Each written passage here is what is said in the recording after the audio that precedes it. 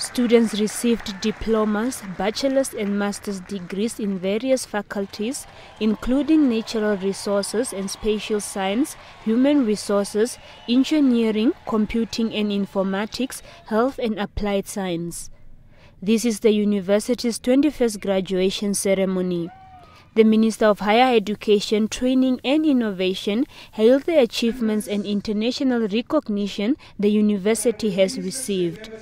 Recently, NUST received two prestigious awards at the annual Professional Management Review Africa Awards for higher education or tertiary institutions, as well as the title of Most Innovative Institution in Namibia.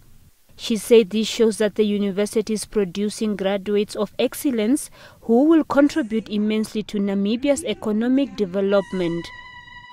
As a ministry, we can never overemphasize the role of our tertiary institutions, in this case NUST, to our country's national development agenda by successfully graduating their students.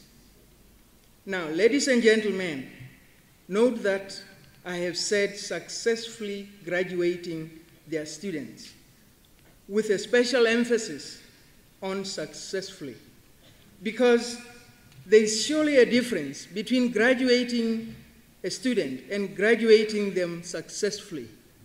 She said the next challenge is for the university to reduce its dependence on government. Universities, particularly public universities in Namibia, must work towards ensuring that the over dependence on government subsidy is reduced. And it can be done with good partnerships, with good initiatives from within the universities themselves. And we are looking forward to ensuring that that is done within NUST. Looking at the number of graduates that have passed here, it surely can be done. We have the wealth of experts within our country.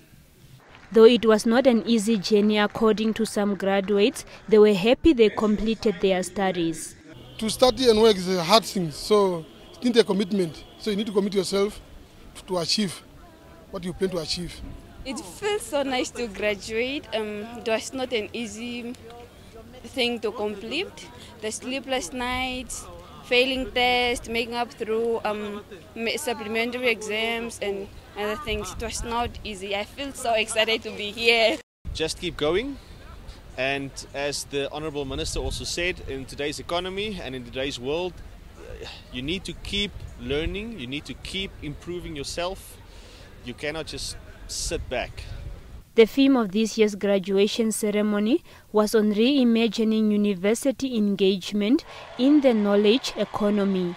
Selima Henok, NBC News, Windhoek.